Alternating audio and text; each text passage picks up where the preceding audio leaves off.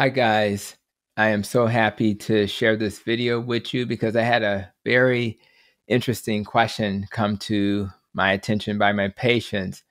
They said, you know what, you've had guests on your podcast like Dr. Ken Berry, uh, A. Fox, also known as the Black Carnivore, Dr. Georgia Ede, a very brilliant psychiatrist, and of course, Dr. Anthony Chaffee. They're all carnivores, and yet they don't seem to complain about constipation. So if that question also interests you, this video was made for you. Hi, I'm Dr. Hampton, a board certified family and obesity medicine doctor with a master's in nutrition and functional medicine. And yes, over my entire lifetime, I've been told that fiber is the secret to have good and regular bowel movements.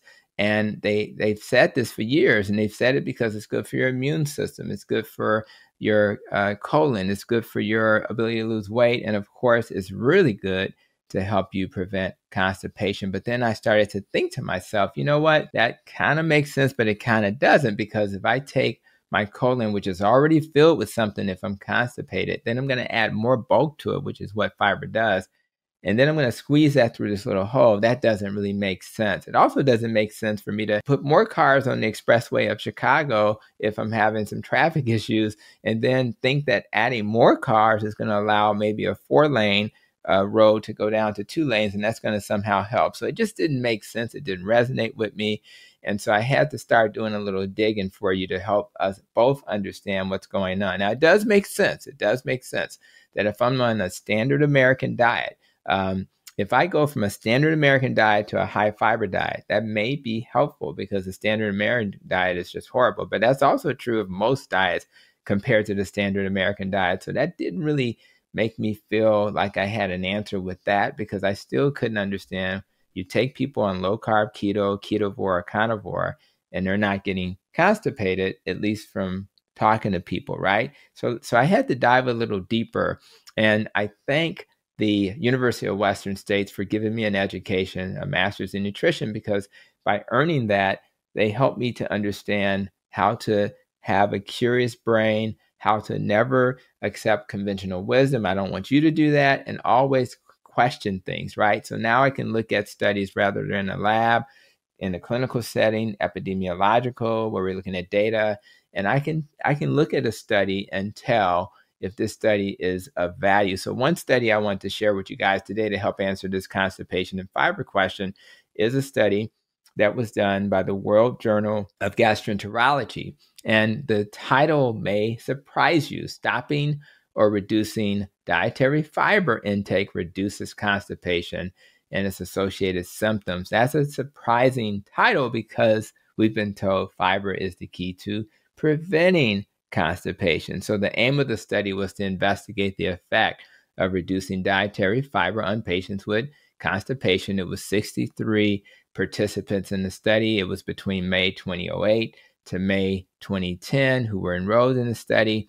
And, and then they were asked, of course, to uh, reduce fiber. Actually, in the beginning, just for two weeks, no fiber at all, just no fiber at all. And then thereafter, to reduce the amount of dietary fiber intake uh, to a level they found acceptable. After they did that, uh, they wanted at one in six months. Let's see if we're having constipation. Are we able to evacuate our stools?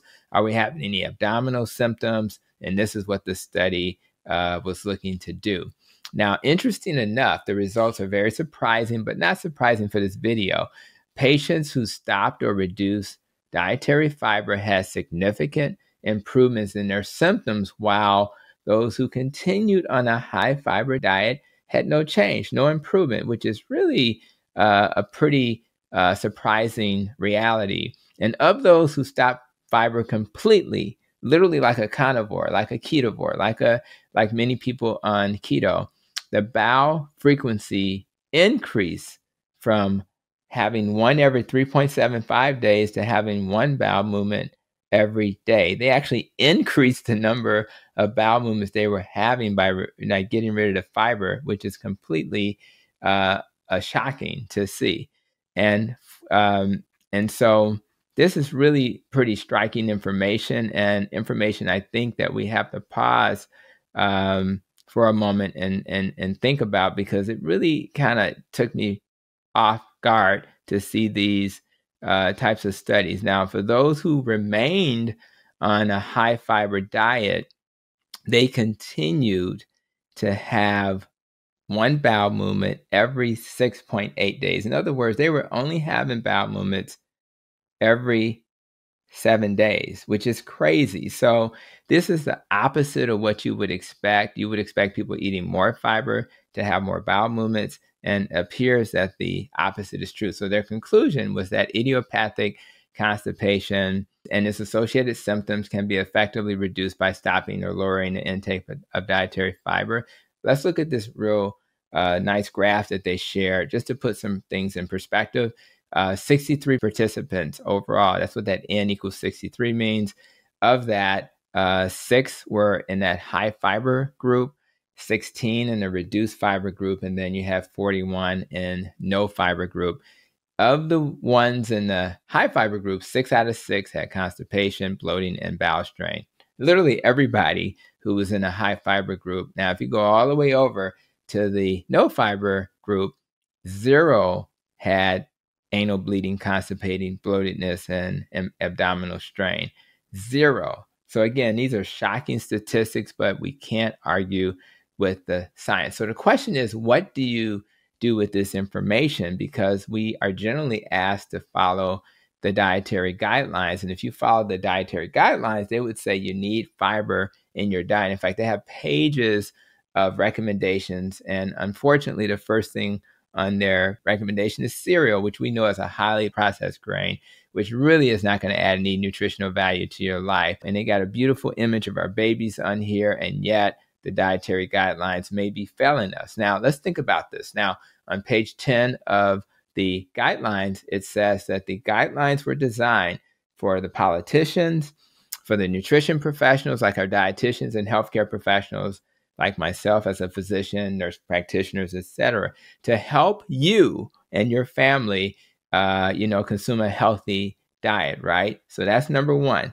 Number two is that the information that's being shared is supposed to also be the basis for what we share publicly to the community from the USDA's perspective, HHS's nutrition programs perspective. So, in other words, your local and state uh, governments are expected, even the food industry and the schools are expected to use these dietary guidelines to make decisions. But this is the problem, guys.